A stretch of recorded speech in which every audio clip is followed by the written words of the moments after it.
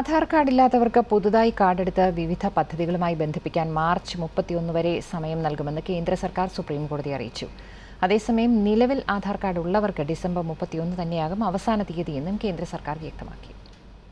രാജ്യത്ത് നൂറ്റി പതിനെട്ട് കോടി ജനങ്ങൾ ആധാർ കാർഡ് എടുത്തതായാണ് കഴിഞ്ഞ ഓഗസ്റ്റ് വരെയുള്ള കേന്ദ്ര സർക്കാരിന്റെ കണക്ക്.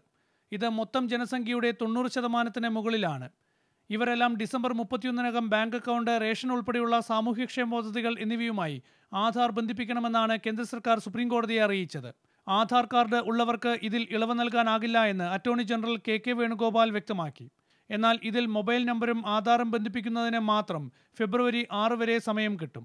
അതേസമയം ഇതുവരെ ആധാർ കാർഡ് എടുക്കാത്തവരുടെ കാര്യത്തിൽ പുതിയ കാർഡ് എടുത്ത് എല്ലാ പദ്ധതികളുമായും ബന്ധിപ്പിക്കാൻ മാർച്ച് മുപ്പത്തിയൊന്ന് വരെ സമയം നൽകുമെന്നും എ പറഞ്ഞു.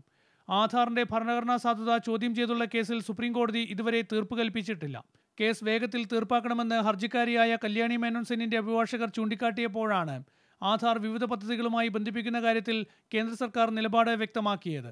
കേന്ദ്ര സർക്കാർ നിലപാട് അടുത്താഴ്ച പരിശോധിക്കാമെന്ന് ചീഫ് ജസ്റ്റിസ് ദീപക് മിശ്ര അധ്യക്ഷനായ മൂന്നംഗ ബെഞ്ച് വ്യക്തമാക്കി. ഏഷ്യാനെറ്റ് ന്യൂസ് ദില്ലി.